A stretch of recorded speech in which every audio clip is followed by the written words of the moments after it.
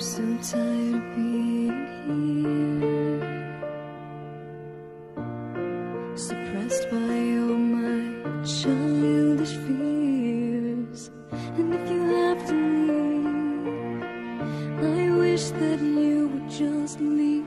Your presence still lingers here, and it won't leave me alone. These wounds won't seem to heal. This pain